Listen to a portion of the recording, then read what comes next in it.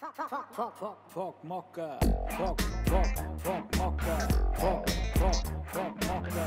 Fuck, fuck, fuck, Mocke. Hey. So, hier sind wir am Stand von Skoda.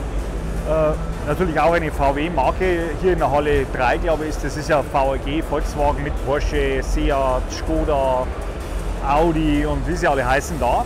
Äh, und für mich das interessanteste Auto bei Seat ähm, und bei Skoda ist dieser hier. Der gleiche eigentlich wie der Mi, nur hier heißt das City E. IV, weiß ich jetzt gar nicht, was heißt. IV heißt wahrscheinlich, keine Ahnung. Es ist sehr interessant zu sehen, weil ähm, die Stände hier bei äh, Seat und Skoda sind eigentlich sehr gut besucht. Am meisten steht bei VW.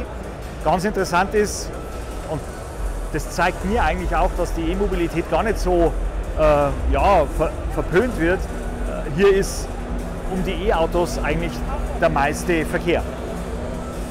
Im wahrsten Sinne des Wortes.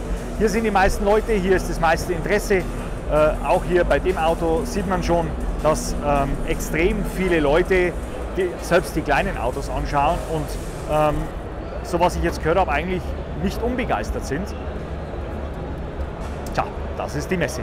Und ähm, ich habe den äh, Seat ja schon Ihnen gezeigt, jetzt kommt der Skoda dran äh, und danach kommt der äh, E-Up dran.